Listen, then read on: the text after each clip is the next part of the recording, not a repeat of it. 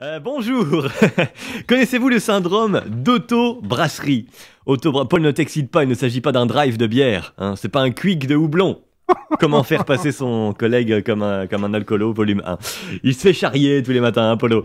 Euh, syndrome d'auto-brasserie donc. Non, ce n'est pas non plus quand tu lances, euh, tu te lances dans la bière en tant qu'auto-entrepreneur. Hein. On est dans le nord, en frontière belge. C'est pas un syndrome, c'est une erreur. C'est comme si moi je créais une chocolaterie. J'adore le chocolat. Je serais la cause de ma propre perte. Tu peux pas faire ça. Donc non, c'est en fait quand ton corps et euh, c'est pas une connerie, ça existe pour de vrai. Quand ton corps fabrique lui-même tout seul de son propre chef en toute autonomie euh, proclamée de l'alcool. Voilà. Ah, oui, j'ai un pote euh, qui a ça. Je lui dis, franchement, mon gars pisse dans des bouteilles, on va sur du pognon. Hein.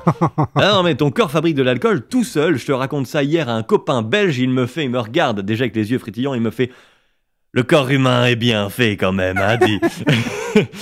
bon, bref, quand même, ça fabrique de l'alcool tout seul, c'est vrai, et sans ton autorisation. Donc c'est une maladie, ton corps fait comme ton avis. Ton, ton avis Je m'en je vais te pourrir la life.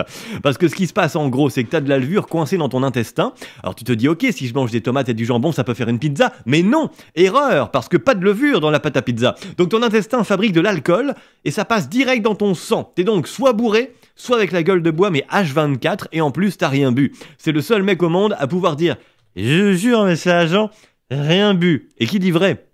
C'est totalement dingue. Imaginons, moi j'ai ça, la première chose que je fais, c'est que je vais donner mon sang. Tournée générale, je suis un mec généreux, moi, pas de problème.